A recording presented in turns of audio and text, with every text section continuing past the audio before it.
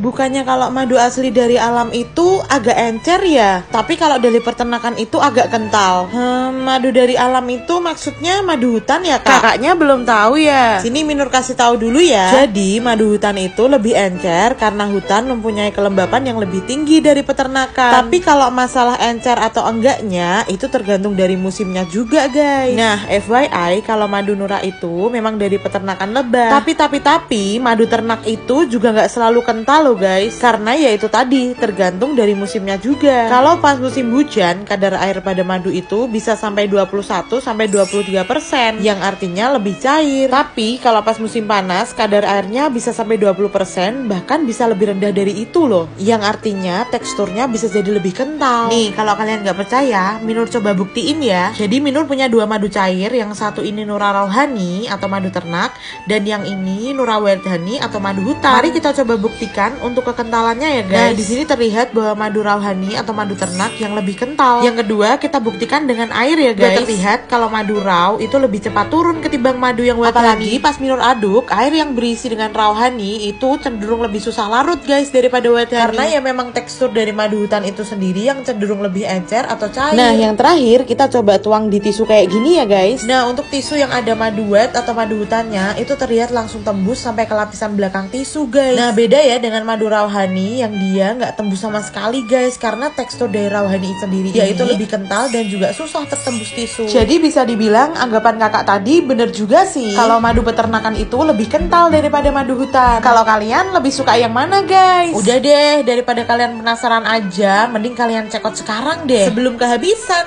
Hi. Yang mau cekot langsung cek toko jeruk ya atau bisa klik link yang ada di bio.